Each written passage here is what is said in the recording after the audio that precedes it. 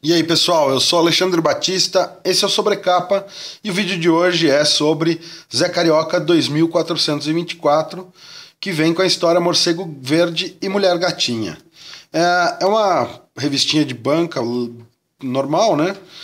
E a gente tem uma republicação, que é uma história de 1995, que traz o Morcego Verde enfrentando o crime e a namorada dele, a Rosinha, se tornando a mulher gatinha. Eu não vou dizer o porquê, você vê aqui na historinha. É mais uma vez uma homenagem né, à nossa querida mulher gato e ao Batman.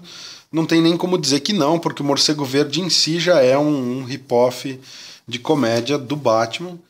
É uma historinha divertida, ela não tem a mesma, eu acho que a mesma contundência da última resenha que eu fiz do, do Zé Carioca e a Piada Sem Sal, que é realmente uma referência a um clássico do, do Alan Moore e tem várias referências legais. Essa daqui é só uma historiazinha de origem da mulher gatinha.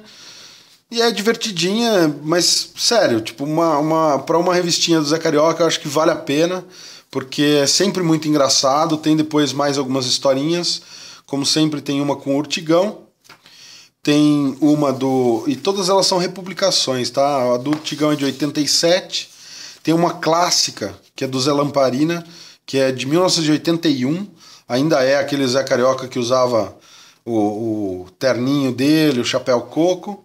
Aí a gente tem uma aventura do Morcego Vermelho, que é de 78. Então é uma ediçãozinha. Ah, tem mais uma que é de 77, que é a Feijoada e o Sono do Zé. É uma ediçãozinha que eu acho que vale a pena, eu curti, não só pela referência à Mulher Gatinha e a história de origem, mas porque tem algumas histórias um tanto clássicas do Zé aí, das antigas, da década de 70, do começo dos 80. É uma edição que eu recomendo, tá R$ 4,50 nas bancas. Não sei se você também curtir esse tipo de.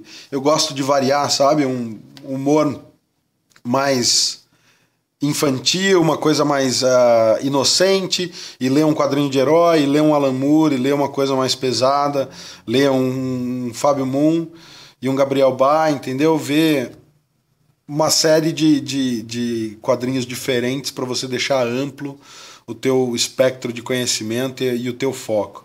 Então fica a dica de hoje, uma HQ mais simples e inocente, Zé Carioca 2424. Se você curtiu, dá aquele like, comenta, compartilha e não deixa de assinar o canal, galera. Valeu!